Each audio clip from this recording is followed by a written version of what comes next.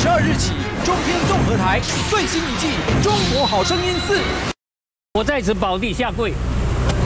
当场下跪，被视为特别是最牛钉子户罗姓屋主的房子，二十五号无预警被建商拆除。特别恳求，还有柯市长发挥他的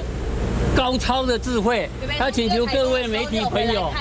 大家年轻人一起来努力。声泪俱下向柯批求救，说了好久的房子就这么突然不见了，罗姓屋主心好痛，很无奈啊，很可怜啊，可悲啊，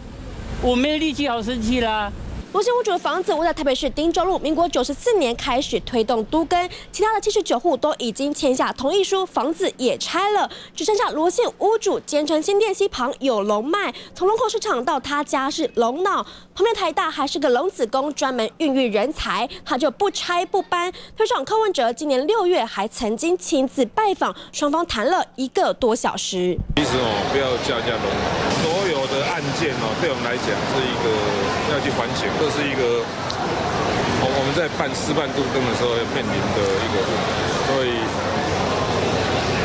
重点还是 SOP 重重写吧，找个时间去拜访他一下。都跟钉子户突然被拆，柯文哲一时也想不出解决办法。不过对其他同一户来说，却是一个能回家的好消息。非常高兴，这个一户墙挡在那里，那个房子又那么厚。同一户都支持拆掉钉子户，不过为何赶在中秋连假之前，在罗姓屋主跟北市府都不知情的状况下突袭拆房子？镇上目前没有任何回应。这里是镇张曼荣台报道。